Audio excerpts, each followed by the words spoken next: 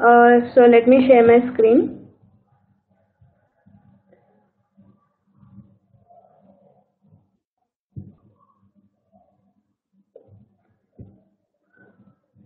So uh, in the last class we have discussed about the math object and we have seen some of the properties and methods. And we have seen about the properties like Euler's constant, logarithms and square root. And we have seen about some of the methods like abs, acos. Okay, so these are the functions basically sine, cos, tangent, ceil function. So these are the mathematical functions which we will uh, do using what uh, math method of JavaScript. Okay. So we have seen uh, in detail about these uh, methods with an examples.